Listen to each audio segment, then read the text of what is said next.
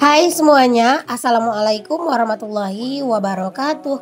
Jumpa lagi sama aku Bunda Twin. Di video kali ini nih teman-teman Menjelang hari lebaran ya. Jadi aku mau panen cabai dulu. Karena takutnya kalau udah lebaran nanti nggak bakalan sempat gitu ya Buat panen-panen cabai. Karena biasanya itu udah uh, keluyuran ke mana-mana kan. Terus biasanya itu badan tuh lebih capek gitu. Makanya ini aku sebelum lebaran aku mau panen cabai dulu berhubung juga nih teman-teman cabenya itu udah banyak yang mateng ya. Dan tadi juga tetanggaku itu ada mesen. Dia itu uh, mau beli cabe gitu ya. Jadi udah sekalian aja aku petikin semuanya teman-teman. Cuacanya alhamdulillah lagi cerah ya teman-teman ketika aku lagi ngambilin cabe ini. Lumayan cerah sih ini ya masya Allah. Tapi ini tuh nggak yang terlalu cetar-cetar banget gitu sih panasnya Oh iya teman-teman aku minta maaf ya sama kalian kalau misalnya di voice over aku ini teman-teman kedengeran ada suara hujan. Karena ini aku voice overnya ketika cuacanya itu lagi gerimis gitu teman-teman di luar. Kalau misalnya aku tunda untuk voice overnya takutnya nggak keburu gitu ya. Karena udah dua hari ya kemarin tuh aku uh, telat upload. Karena aku tuh keburu-buru gitu ya buat dubbingnya itu di pagi hari. Dan jaringan tuh sering banget macet sekarang-sekarang ini teman-teman kadang itu ngupload udah dari pagi tapi sampai siang tuh malah belum selesai-selesai gitu ya. Biasanya mah cepet gitu makanya ini aku mau uh, usahain aja buat voice over supaya bisa tayang tepat waktu di jam 11.30 Oh iya teman-teman aku juga mau nanya nih sama kalian. Di hari lebaran bagusnya itu aku upload video atau libur dulu ya. Nah kalian gimana? Kalian tuh di hari lebaran itu masih sempat gak sih buka handphone teman-teman? Kalian boleh dong tulis-tulis di kolom komen. Dan kalau seandainya untuk apa ya untuk uh, kalian tuh nonton handphone itu siang apa malam apa mungkin di hari lebaran aku upload videonya itu malam hari apa pagi hari apa subuh subuh apa jam berapa nih teman-teman boleh ya kalian kasih saran di kolom komen Sebenarnya sih teman-teman aku tuh pengen aja gitu ya buat upload gitu ya. Cuman aku kayak yakin sih view-nya itu bak pasti bakalan uh, turun drastis banget. Karena ya namanya di hari lebaran orang-orang kan pada sibuk gitu ya.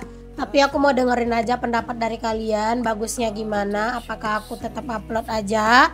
Uh, dan kalian jangan lupa kasih saran uploadnya jam berapa gitu ya biar aku tahu gitu. Kalau misalnya emang sebaiknya nggak upload ya mungkin aku nggak bakalan upload dulu teman-teman. Karena sayang juga kan videonya kalau seandainya yang nonton itu sedikit gitu karena kan bikin video itu susah ya teman-teman Oke deh teman-teman, tadi aku metikin cabe itu tuh di pagi hari menjelang siang lah gitu ya. Dan berhubung tadi habis metikin cabe, itu tuh lumayan uh, badan itu gatel-gatel ya. Jadi aku udah mandi dan ini aku lanjutin mau masak teman-teman. Ini aku sengaja masaknya tuh agak lebih awal gitu ya.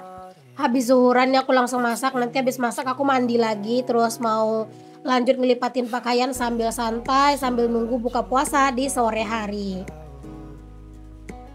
Ini aku panen daun singkong dulu teman-teman buat dimasak hari ini karena emang lagi pengen aja masak rebusan daun singkong gitu. Kalian pada masak apa teman-teman? Udah mulai deh kayaknya ya. Kalian itu mempersiapkan menu masakan buat besok di hari lebaran. Mungkin udah ada yang hari itu nyicil masak rendang masak opor masak lontong dan segala macam ya. Kalau aku mah eh, nggak uh, ada masak-masak yang gitu-gitu sih teman-teman. Karena kalau misalnya mau masak rendang pak suami tuh nggak doyan teman-teman. Dia nggak doyan daging apalagi ayam gitu ya. Terus aku juga nggak terlalu suka gitu.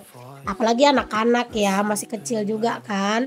Terus uh, kalau misalnya mau masak lontong itu sih yang belum tahu teman-teman belum aku pastiin uh, cuman insya Allah sih pengennya di malam lebaran itu tuh masak uh, sesuatu gitu ya biar di hari lebarannya itu tuh bisa masak-masak barengan sama kakak ipar aku ya teman-teman.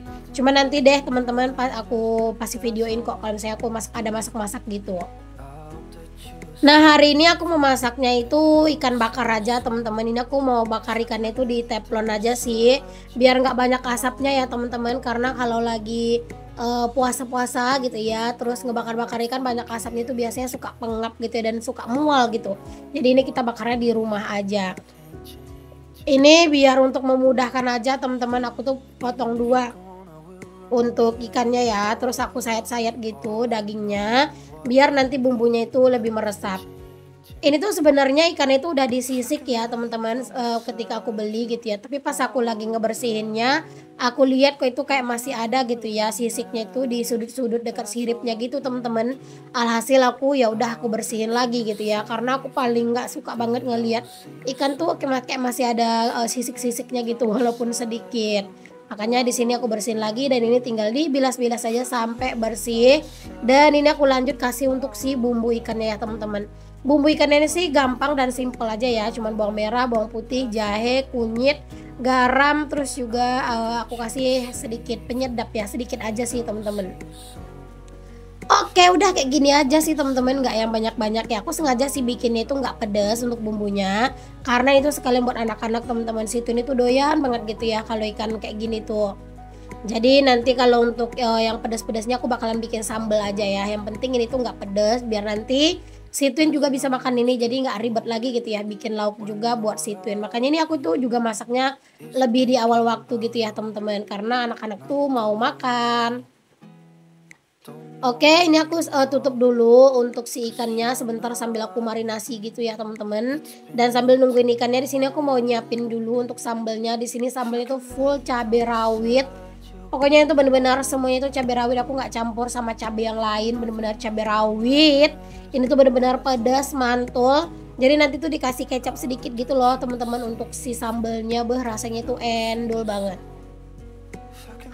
Biar rasa sambelnya itu tuh enak dan juga lebih sedap di sini aku sengaja sambelnya langsung aku ulek aja ya teman-teman.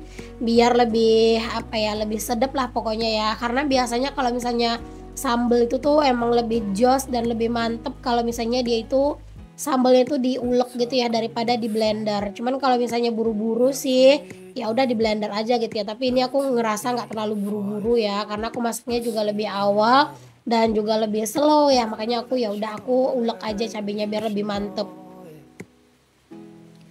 Cabai rawit yang aku ulek ini teman-teman ini adalah cabai rawit yang hasil aku petik tadi ya jadi cabenya itu masih seger banget teman-teman Nah cabai ini tuh bener-bener pedas ya teman-teman itu lebih pedas daripada cabai yang biasa karena ini tuh cabai yang runcing yang runcing dan mengkilap gitu loh teman-teman. Jadi kalau misalnya di sini tuh uh, ada bilangnya tuh kayak sebagian itu ada yang bilang cabai bencong juga gitu ya. Aku nggak tahu sih cabai ini tuh namanya cabai apa gitu ya. Tapi dia tuh mengkilat terus juga mulus gitu ya untuk kulitnya. Dia tuh juga runcing dan rasanya tuh pedes banget teman-teman. Nah setelah cabenya aku halusin teman-teman baru aku masukin bawang merah plus juga bawang putih. Aku kasih bawang putih sedikit aja sih teman-teman.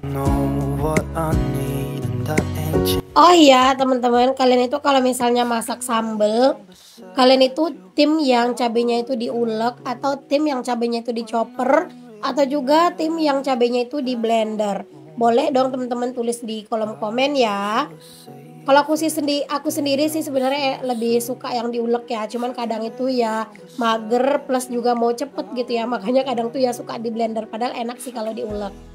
Nah teman-teman ini tadi pas masukin ikannya aku tuh beneran uh, lupa buat mencet si kameranya itu buat mencet playnya gitu ya. Alhasil nggak kerikot gitu ya pas aku lagi masukin ikannya. Masya allah banget teman-teman ya kadang seperti itulah ya teman-teman. E, kadang tuh suka lupa gitu ya buat mencet gitu ya untuk mulai gitu ya kameranya ngerekam ya. Alhasil kadang tuh udah mulai mateng udah mulai masak gitu ya eh baru inget gitu. Nah ini ikannya aku bolak balik teman-teman. Langsung aja aku tuh kasih kasih bumbunya ya yang banyak. Biar rasanya itu lebih sedap biar rasanya itu lebih mantep. Dan juga kalau misalnya ikan bakar kayak gini banyak bumbunya itu rasanya itu lebih enak sih teman-teman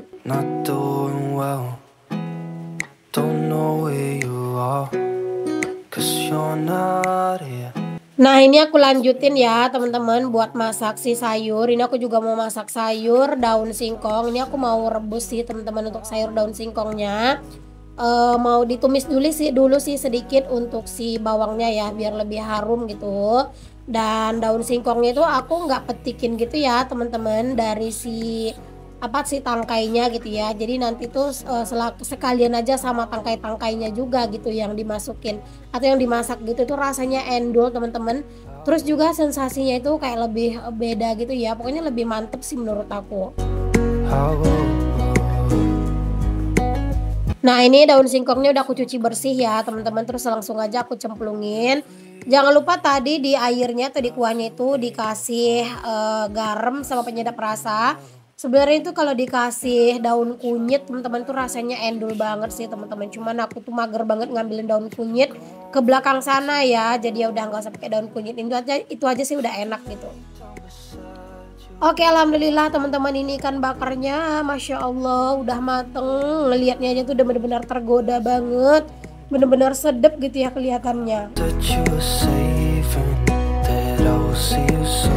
setelah ikan bakarnya mateng teman-teman aku juga langsung buat numis untuk si sambelnya ya teman-teman. Sambel yang udah aku ulek tadi sambel cabai rawit. Karena kan ikannya nggak pedes jadi aku mau bikin sambal terpisah. Jadi nanti siapa yang mau pedes ya ada sambelnya gitu ya. Kalau buat anak-anak mah dia nggak kuat ya kalau cabai rawit kayak gitu. Tapi kalau misalnya cabai merah teman-teman itu tuh anak-anak tuh udah kuat gitu ya makan cabenya aku tuh selalu ngajarin sih karena kalau kata orang-orang tuh ya teman-teman kalau anak-anak tuh udah dikasih makan cabai tapi nggak banyak ya itu tuh bisa untuk uh, menjadikan imun mereka tuh lebih kuat katanya gitu Oke, jangan lupa ditambahin uh, untuk garam sama juga penyedap rasa ya, kayak misalnya dikasih kaldu ataupun bisa dikasih micin juga.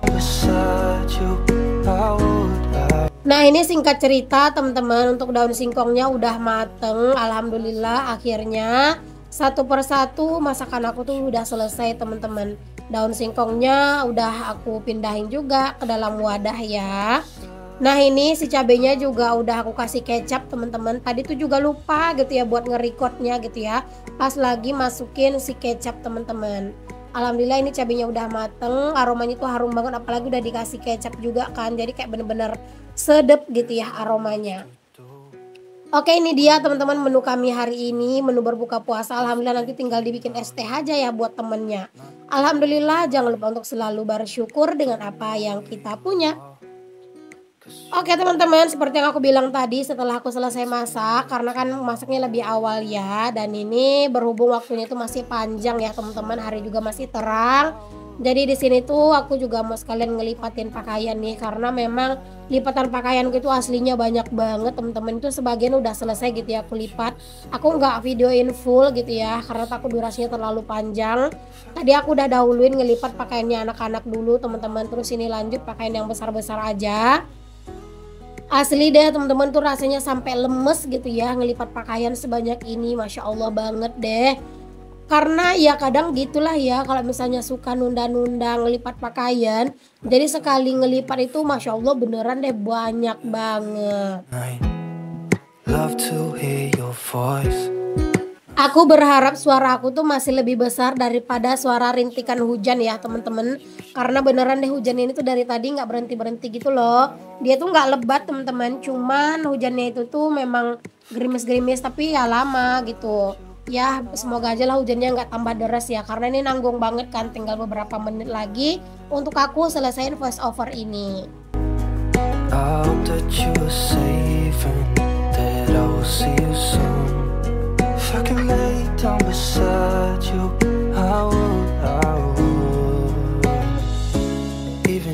Lipatan pakaian yang banyak kayak gini tuh ya teman-teman sebenarnya itu udah mulai bikin mager gitu loh buat ngelipatnya karena ya emang gitu ya kalau misalnya pakaian tuh udah mulai banyak biasanya kita tuh lebih mager sih buat ngelipatnya gitu ya. Tapi kalau misalnya pakaian tuh lebih sedikit sebenarnya kita tuh bisa lebih rajin gitu.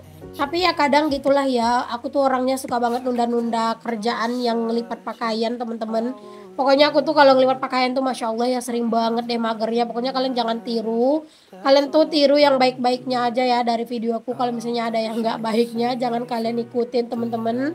Karena ya namanya juga manusia ya. Nggak ada manusia yang sempurna teman-teman. Pasti ada aja kelebihan dan juga kekurangan masing-masing orang gitu ya. Dan aku tuh beneran deh kalau untuk melipat pakaian Masya Allah sebenarnya tuh mager luar biasa teman-teman bahkan ya tadi tuh ya teman-teman aku tuh sempat baring-baring dulu gitu ya setelah selesai ngelipat pakaian anak-anak karena lemes gitu ya sebanyak ini gitu. Tapi alhamdulillah ini akhirnya selesai juga. Nah ini aku tinggal masukin aja ke dalam keranjang gini nanti baru deh habis buka baru disusun ke dalam lemari. Oke teman-teman, makasih banyak untuk kalian semua yang udah ngikutin aktivitas aku dari awal sampai akhir. Semoga apa yang aku share bisa menginspirasi, memotivasi, dan menghibur ya. Sampai ketemu lagi di video aku yang selanjutnya. Maaf kalau ada kata-kata aku yang salah. Assalamualaikum, bye.